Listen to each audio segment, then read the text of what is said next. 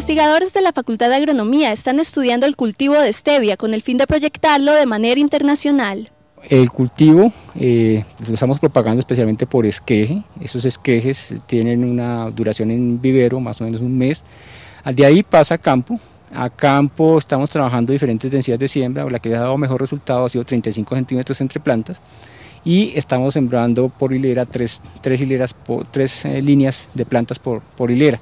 Entonces tenemos un, buen rendimiento. El cultivo en invernadero en Bogotá ha dado buenos resultados, pese a que la planta es propia de clima cálido. Las plantas requieren cuatro podas de formación. Entonces estamos generando una poda inicial para generar brotes, formación de ramas.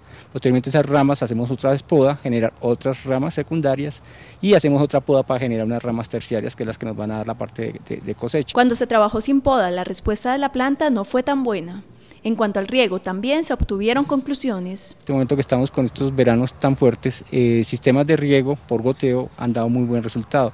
Es una planta que requiere agua inicialmente en el establecimiento y posteriormente se puede estar reduciendo eh, considerablemente el, el consumo de agua. Una planta que genera un buen sistema radical, tiene facilidades de profundidad, entonces puede estar captando aguas de, zonas bastante profundas. La stevia se proyecta cada día más en el mundo y la demanda crece frente a una oferta que aún es baja.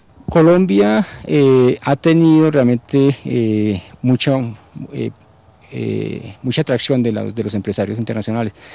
La ven atractivo por la mano de obra, la calidad de producto, entonces están viniendo a tentar per precios y tratando de motivar a la gente para que vendan producto.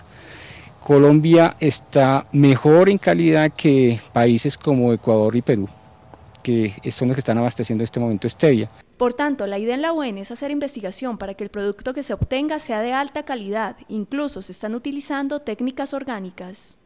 Hay un apoyo para para comprar el producido en Colombia de eh, 4.000 hectáreas.